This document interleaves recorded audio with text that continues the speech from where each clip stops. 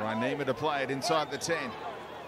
Hardigan trying to organise uh, playmakers. Naitoka Toka again. She found it this time.